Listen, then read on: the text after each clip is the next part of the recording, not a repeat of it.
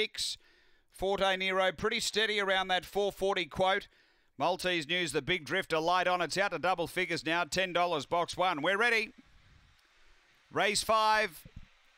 Racing. Good line away, Australasian Art out quickly. It's trying to hustle through underneath runners. It's going to poke up and grab the lead. Springvale Slick to second out deeper Shahaka. Uh, they were followed driving next through by Forte Nero. Maltese News railing up. And then came Miss Amity up toward the bend. It leaves the rail. Australasian Art taking the run. Springvale Slick. Out wider is Forte Nero and Maltese News. In front, Springvale Slick out wide. Forte Nero. Forte Nero beats Springvale Slick. Third home Australasian Art. Uh, then came Maltese News from Shahaka and Miss Amity. The time here, it's around 25 and 80.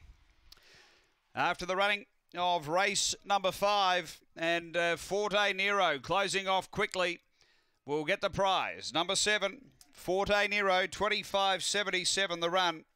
Uh, Lisa Rasmussen has uh, got the prize here with number seven, Forte Nero.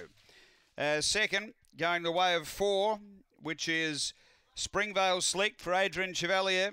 And third to two, uh, Australasian Art for Timarachi. Fourth home is one. Uh, Maltese News. Number one is fourth in. 7 4 2 1 after race number five here at the bridge.